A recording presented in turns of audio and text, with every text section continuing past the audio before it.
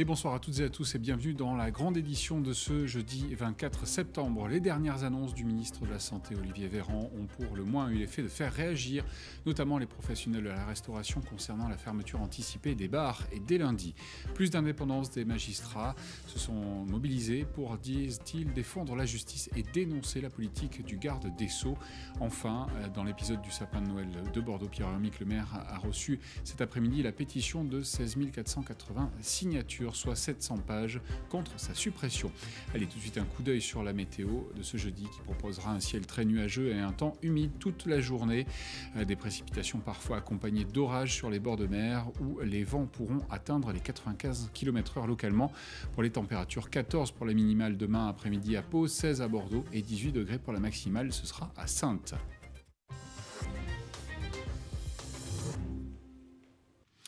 Qu'ils soient maires de communes, professionnels de la restauration, propriétaires de salles de sport, tous attendaient plus d'explications suite aux annonces du ministre de la Santé Olivier Véran hier en fin de journée. Le passage de la Gironde déjà en rouge pour le Covid-19 en alerte renforcée fait que les mesures pour lutter contre le virus seront renforcées à partir de lundi et ce pour une quinzaine de jours. À renouveler bien évidemment. Pour certains, c'est l'incompréhension comme les professionnels des métiers de la restauration qui dénoncent le manque de concertation. Franck Poirot. Entre 300 et 600 établissements girondins pourraient être concernés par cette fermeture obligatoire des bars à partir de 22h lundi. Pourrait, car pour le moment cette annonce pour lutter contre la recrudescence du Covid dans le département du ministre de la Santé manque de précision. L'organisation professionnelle UIMIH, qui regroupe la plupart des établissements visés par cette mesure, regrette cette décision gouvernementale. Selon elle, elle jette l'opprobre sur une profession qui a déjà été fortement impactée par le contexte sanitaire et qui joue le jeu pour faire respecter les gestes barrières dans la majorité des cas. Les autorités nous prennent encore une fois pour les mauvais petits canards. Alors oui, il peut y avoir euh, de ci, de là, euh, des gens qui n'appliquent pas les règles. Et les autorités sont là pour remettre les gens dans le droit chemin. Et on, à l'UMI, nous ne défendons, pas l'indéfendable. mais ce, n'est vraiment qu'une toute petite minorité des gens qui travaillent dans la profession. Neuf bars à Bordeaux ont déjà fait l'objet d'une fermeture administrative pour non-respect des gestes barrières. Le 14 septembre dernier, la préfète a annoncé un durcissement et un renforcement des contrôles de respect des gestes barrières dans les bars la nuit mais aussi l'interdiction de consommer debout dans ces établissements. Une décision prise au niveau local en concertation avec l'Agence régionale de santé, les professionnels du secteur. Cette fois, c'est différent. La décision est venue de Paris et sans aucune concertation pour le président de la Chambre de commerce de Bordeaux. Et on avait compris qu'on allait passer faire une concertation, c'est-à-dire que le Premier ministre euh, déléguait aux, préfectures euh, les décisions et qu'à partir de là, on allait euh, discuter ou participer aux décisions. Là, je constate que la décision a été prise euh, sans aucune concertation, enfin en tout cas pas avec nous. Ces professionnels craignent que cette décision de fermeture des bars à 22h soit contre-productive. Pour eux, les fêtards vont se rassembler dans des lieux privés sans respecter les gestes barrières. En attendant, l'application de cette mesure doit faire l'objet de discussions entre élus locaux et autorités préfectorales. Il s'agit notamment de définir précisément le périmètre dans lequel cette fermeture des bars à 22h sera effective à partir de lundi prochain et les mesures prises en conséquence par la préfète de la Gironde et Nouvelle-Aquitaine, Fabienne Butchot, seront annoncées en direct sur TV7 et sur sudouest.fr demain vendredi à 14h. Et concernant les fermetures anticipées à 22h, seuls les bars devraient être concernés en Gironde, à confirmer donc demain, bien évidemment. Rendez-vous sur notre antenne pour un direct spécial dès 14h. Les magistrats se sont mobilisés partout en France, je vous le disais dans les titres, ce jeudi à la mi-journée, à l'appel de deux syndicats majoritaires, le syndicat de la magistrature et l'Union syndicale des magistrats magistrats. Mot d'ordre, défendre la justice. Il dénonce la politique d'Éric de Pont-Moretti et demande davantage d'indépendance. La raison de notre mobilisation aujourd'hui, euh, c'est euh, l'inquiétude grandissante des magistrats euh, qui ne fait que croître depuis la nomination d'Éric Dupont-Moretti, garde des Sceaux, le 6 juillet dernier. Nous avions parlé d'une déclaration de guerre. Les premiers obus ont été tirés, notamment la semaine dernière, s'agissant de la saisine par le garde des Sceaux de l'inspection générale de la justice contre le parquet national financier et contre trois magistrats euh, nommément visés, alors même qu'il y a un conflit d'intérêts qui le concerne, non résolu à ce jour. Le deuxième obus a été euh, la nomination euh, d'un non-magistrat à la tête de l'École nationale de magistrature. En soi, ce n'est pas le fait que ce soit une avocate qui soit nommée qui pose problème, ce sont les raisons qu'il a évoquées pour justifier ces nominations, à savoir, un corporatisme, euh, une forme d'entre-soi qui n'existe pas, puisque je rappelle que la moitié des futurs magistrats de France proviennent d'horizons différents et pas de l'université, et que 70% finalement des stages qui sont obligatoires au sein de l'ENM sont des stages extérieurs, justement en lien avec d'autres professions et d'autres institutions. Et autre mobilisation, celle des ambulanciers euh, ce matin sur le rond-point du centre hospitalier Charles Perrins. Les, les, professionnels du privé ont répondu à l'appel de la mobilisation nationale de la fédération FOENCP. Mauvaise gestion des protocoles pendant la crise du Covid et réforme du financement des transports sanitaires. La coupe est pleine pour les ambulanciers qui demandent une revalorisation de leur salaire. Nous revendiquons aussi le fait de ne pas être sous-payé quand nous sommes de garde les week-ends, les nuits, les jours fériés. Il faut savoir qu'aujourd'hui, un ambulancier qui travaille sur ces périodes-là est payé 80%. Donc 10 heures travaillées, 8 heures payées. Donc on veut que ça change.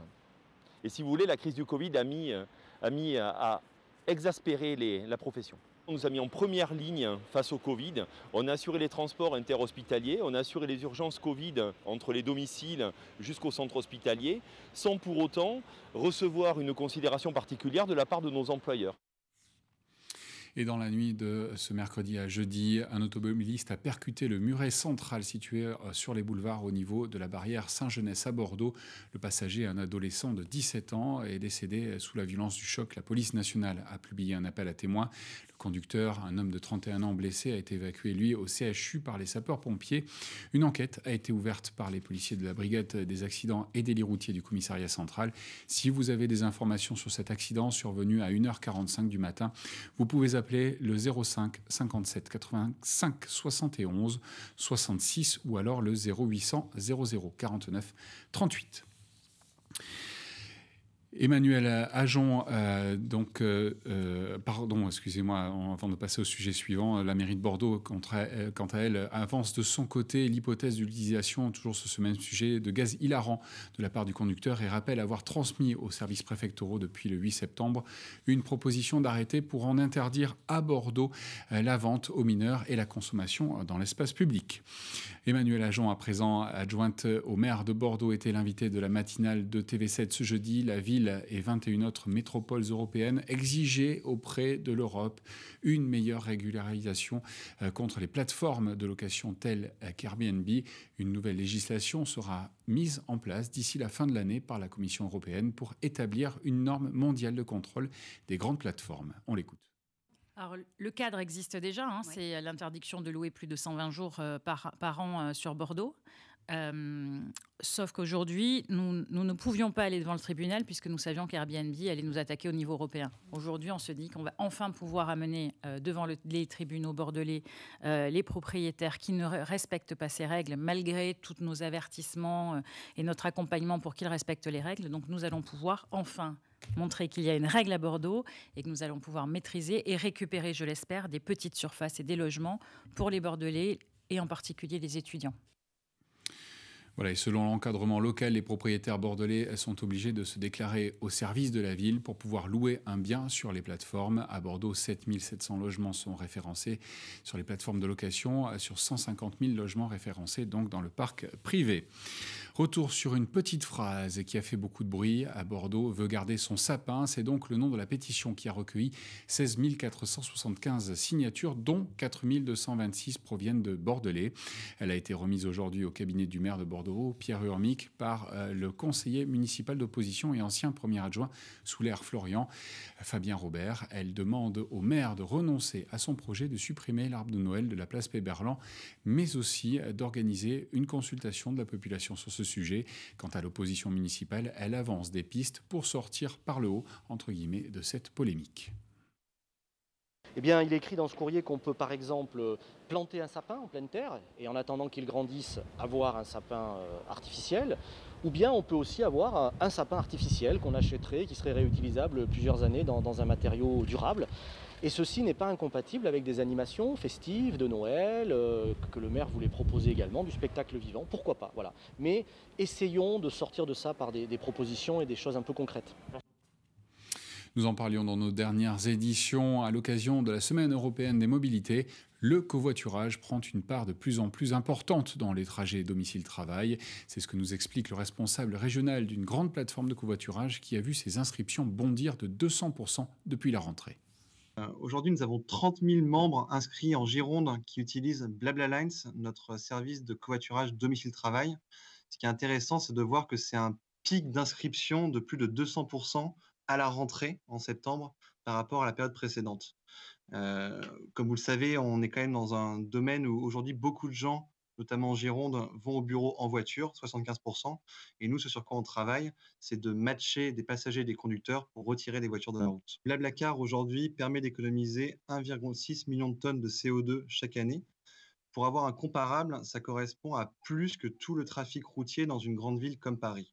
Donc il y a les économies de CO2 via le covoiturage et également des économies financières, notamment sur BlaBlaLines, puisque en moyenne, une conductrice qui covoiture au quotidien pour le domicile de travail va économiser entre 100 et 200 euros par mois. Et passons aux élections sénatoriales à présent qui approchent à grands pas. Si vous avez toujours tout voulu savoir sur ce scrutin très particulier, je ne vous en dis pas plus. Je laisse Xavier Sota de la rédaction Sud-Ouest tout vous expliquer. Les élections sénatoriales, ce n'est pas le scrutin qui soulève l'enthousiasme des foules, eh bien ça tombe bien puisque ce sont les grands électeurs, 3517 en Gironde, qui iront voter ce dimanche. Leur mission, élire six sénateurs. Alors le choix va être un petit peu compliqué puisque le paysage politique, qui se découpait traditionnellement entre le Parti socialiste et la droite et le centre, eh bien ce coup-ci, il est éclaté façon puzzle. Alors dans cette équation, eh bien le Parti socialiste est quand même en position de se maintenir. Il avait trois sénateurs. Il espère en décrocher également trois. Hervé Gillet, Laurence Haribé et Christine Boss, qui, pour sa première candidature, espérera intégrer le palais du Luxembourg. Néanmoins, rien n'est moins sûr pour cette troisième position, puisque les écologistes se sont invités dans le jeu. Victoire à Bordeaux, bon résultat à Pessac, évidemment la ville de Bègle. Donc les écologistes eh bien, peuvent décrocher un siège sur le papier. Reste à savoir comment se prononceront les grands électeurs qui, euh, pour représenter les écologistes, c'est Monique de Marco. À droite, c'est également un joli bazar, puisque d'habitude, les Républicains et le centre partaient sous un même panache. Et bien ce coup-ci, chacun part de son côté. Nous avons donc un pôle centriste incarné par Nathalie Delattre et Alain Casabonne, l'ancien maire de Talence, qui concourent. Quant aux Républicains, eh bien, ils font cavalier seul dans cette élection et présentent une sortante également, Laurence Lassarade. Et puis, dans cette équation, eh bien, il y a un trublion. Il s'appelle Yves Damécourt. Yves Damécourt, l'ancien maire de Sauveterre, eh bien, qui, avec le mouvement de la ruralité, souhaite faire entendre sa voix, ce qui va morceler les voix des grands électeurs. Et puis, dans cette équation sénatoriale un peu compliquée, il faudra compter sur les autres qui vont également bah, dispatcher quelques voix. Qui sont-ils? La France Insoumise, le Parti communiste et évidemment le Rassemblement national qui a quelques élus aujourd'hui en Nord-Gironde. Bref, ces élections sénatoriales bah, vont nous raconter la recomposition, voire la décomposition du paysage politique selon le point où l'on se place, donc suspense à tous les étages.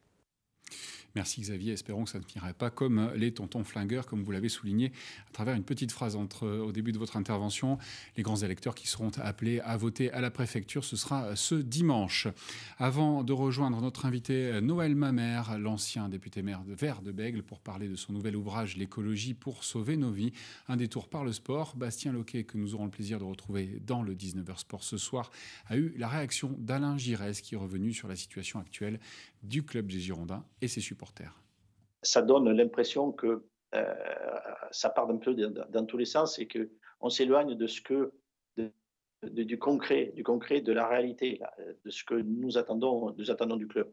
Alors, vous savez, euh, dans la vie, rien, n'est possible. Hein. c'est les bonnes volontés arrivent toujours à, s'entendre et à arriver à ce que tout le monde souhaite au final. Parce que la réalité, c'est quoi? Tout le monde a envie de la même chose.